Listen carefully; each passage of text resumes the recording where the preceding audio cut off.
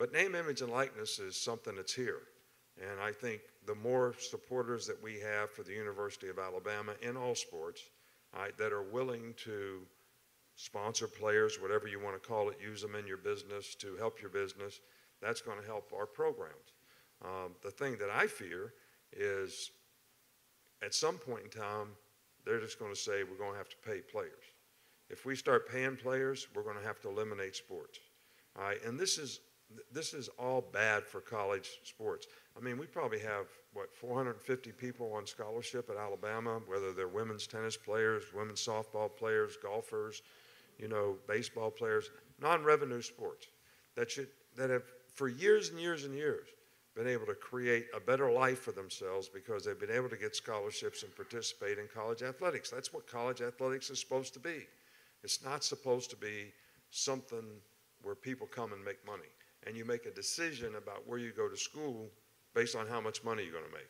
You should make a decision based on where you have the best chance to develop as a person, as a student, and as a player, which is what we've always tried to major in. And we're going to continue to do that. And hopefully, there's enough people out there that want to do it. But I know the consequence is going to be difficult for the people who are spending tons of money to get players. And you've read about them, you know who they are. I mean, we were second in recruiting last year. A&M was first. A&M bought every player on their team, made a deal for name, image, and likeness. All right, we didn't buy one player. All right, but I don't know if we're going to be able to sustain that in the future because more and more people are doing it.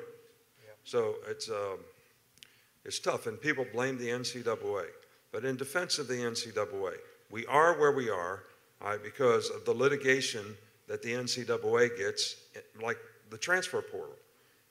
Every time somebody wanted to transfer, they'd apply for a waiver. Right, if you didn't give them, the NCAA didn't give them a waiver so they could be immediately eligible, they filed suit.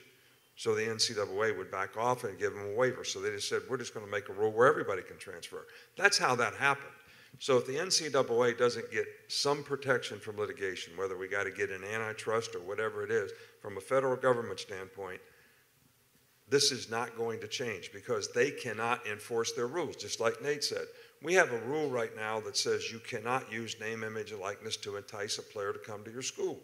Hell, read about it in the paper. I mean, Jackson State paid a guy a million dollars last year that was a really good Division One player to come to school. It was in the paper, and they bragged about it. Nobody did anything about it.